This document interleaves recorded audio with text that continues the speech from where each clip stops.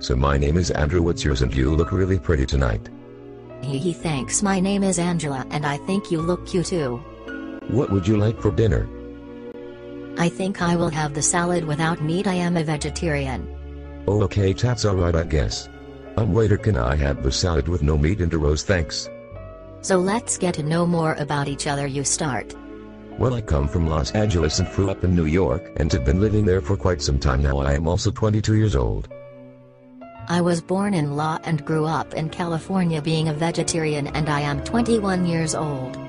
Well let's have dinner again tomorrow around 7. Sure bye and thanks for dinner it was delicious.